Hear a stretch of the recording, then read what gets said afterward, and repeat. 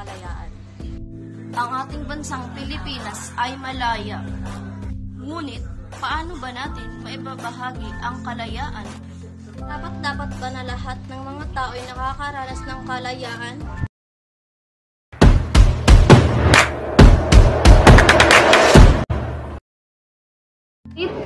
Sa ating panahon ngayon ay hindi na uso ang gerahan o pag-alsa.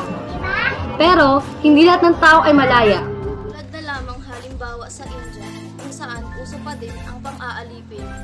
Korea na diktador ang Pangulo. Narito sa Pilipinas ng malaya, walang limitasyon, ngunit bawal sumobra. Isa ang ating maaaring armas. Boses ang kailangan, isang tabi ang takot, ibahagi ang kaalaman. Tama at mali.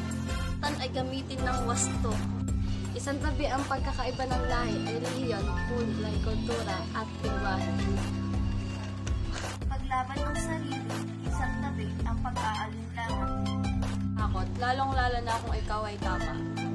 Magpatapak. Magsaliksik, alamin at tandaan. Kung lahat ay malaya, lahat ay may pagkakaisa. Walang mataas, walang mababa, at walang pagkakasakitan. Paraan ang susi sa pagkakaisa. Ngunit huwag kakalimutang manampalataya upang tayo gabayan ng Diyos.